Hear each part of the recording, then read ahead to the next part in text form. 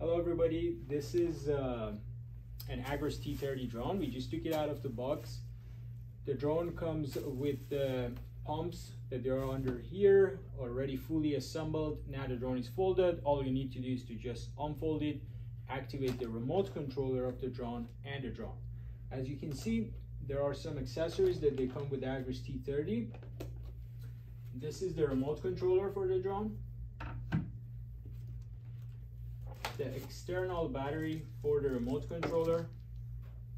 The charger for the remote controller battery, the external one, because the remote controller has an external battery and an internal battery. So it always uses this external battery first. When it runs out of that, it will start using the internal one and you can charge the external battery. To charge the internal battery, you want to connect the USB-C uh, cable that comes with the drone here and um, start charging the internal battery. There are some other accessories, a screwdriver and um, cables that come with the drone. And the dongle that is like for example, if you wanted to add a SIM card to your drone, it's not necessary, but you could put a SIM card into the dongle and use the data of that to have internet on your remote controller. The dongle is required for activation of the drone, and uh, we will show you that. This is the user manual and quick start of the Agras T30. The nozzles and nozzle clips, 16 of them are there. They will be assembled on these ends, there are 16 of them on the T30. So we will go ahead and show you how to activate the remote controller first. So at this part, we want to uh, activate the remote controller. To turn on the remote controller, like any other DJI device, we press once and press and hold.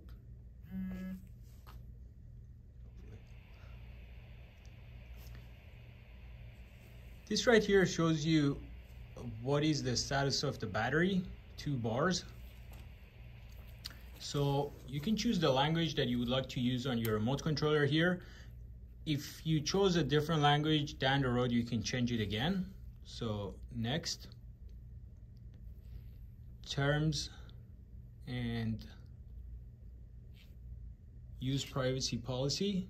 You need to agree to that you will turn on the Wi-Fi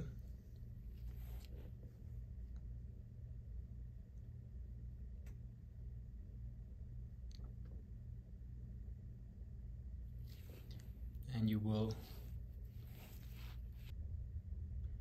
now that we are connected to a Wi-Fi uh, we can choose the region that we are in for example we are in California, Riverside, California, so we will choose Pacific time.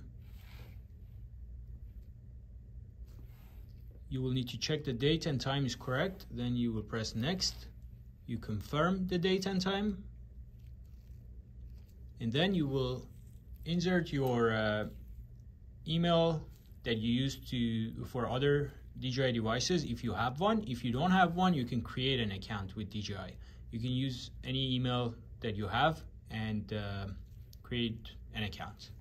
So I will insert support at talosdrones.com. If you have any questions, you can contact this email as well.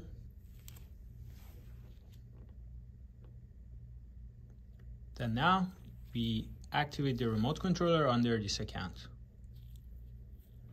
You can either choose join the product improvement project or press not now. To use this remote controller for DJI Agras T30 or T10, you will need to choose DJI Agras app.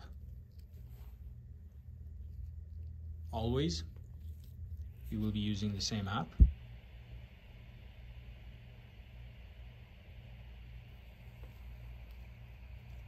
Here are more terms of use.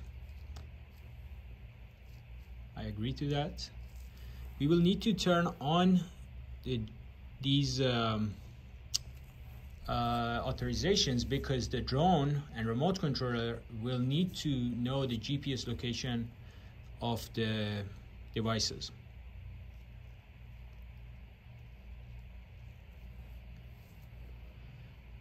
Then here you can choose the country that you will be operating the drone in.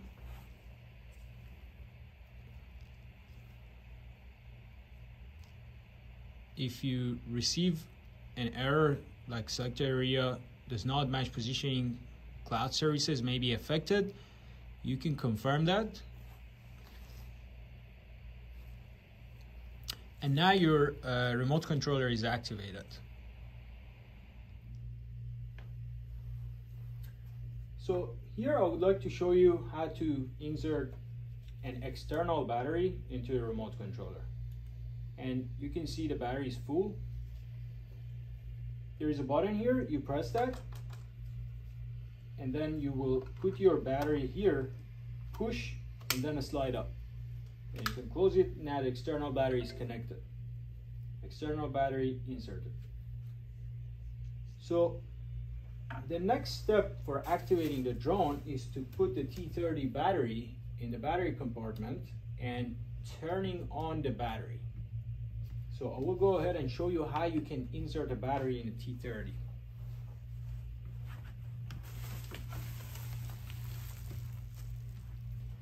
This is where the connector of the battery will connect to. You will just put the battery here it will slide in. You want to make sure to press the front of the battery, both sides of it, down to hear a clicking sound. Like that. Now your battery is secured in place. To turn on the battery, you will press once and press and hold. Now you're good. Your drone is on.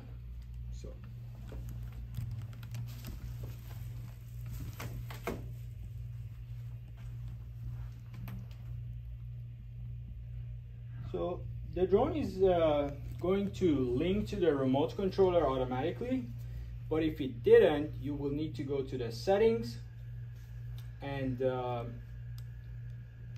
to the remote controller category, press the linking button, press and hold the power button on the drone's battery for about six seconds and the drone will be linked to the remote controller. But usually, like when you receive a new drone, the remote controller is already linked to your uh, drone. So now over here, uh, we can see if we go to this drone symbol, so we ignore that for now. We go to this drone symbol.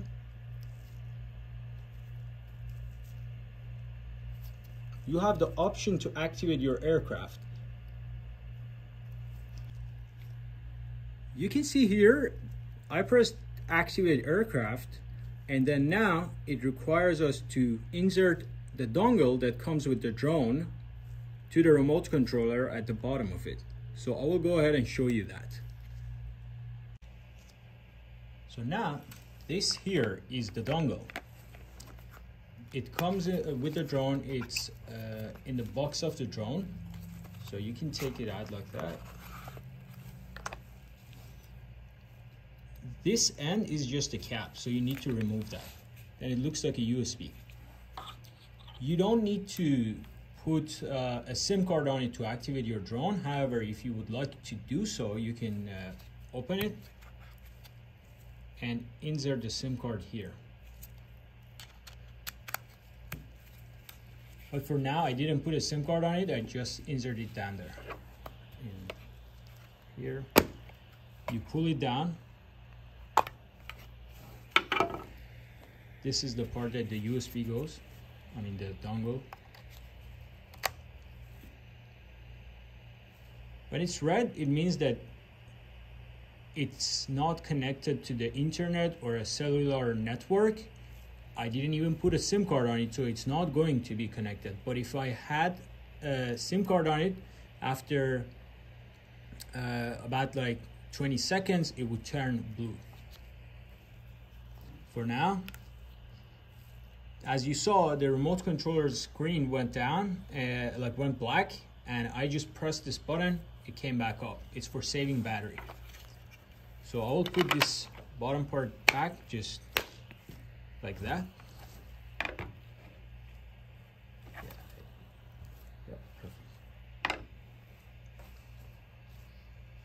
Then now here I press OK. And one more time I will show you how I got to this page. Over here there is a drone symbol.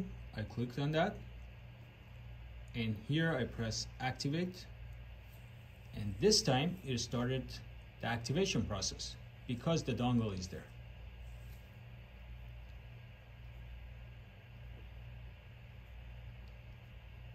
terms and policy. I agree to that. Next, privacy policy.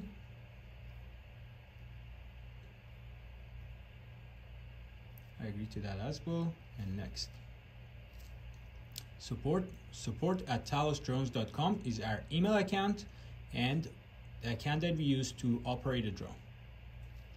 Next, in the United States, we want to use the mode 2.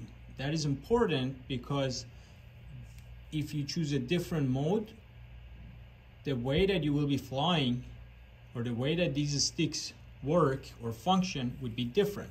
So you want to keep it as mode 2 if you are in the United States. You will name your aircraft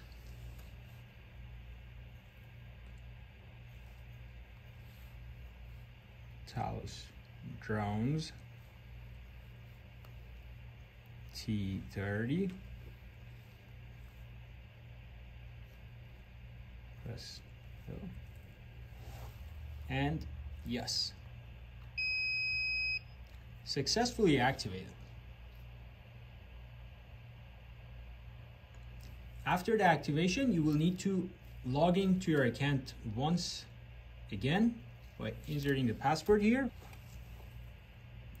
and now your drone is activated and your remote controller is activated but you still see activate aircraft here. You will need to turn off your remote and drone and turn them back on. To turn it off, I just press once and press and hold again. And for the drone, I will do the same.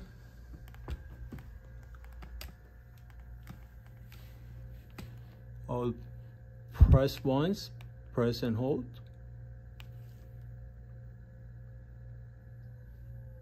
The drone is off.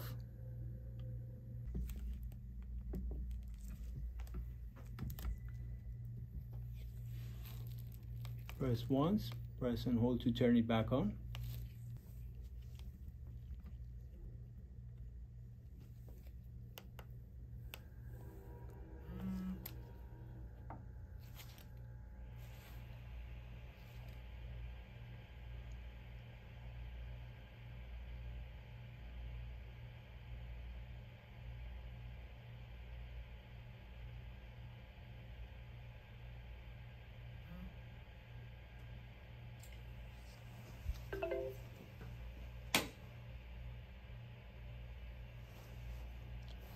Now you can see the activate aircraft button is gone and you have two options, plan field and execute task and you are set and your drone is activated.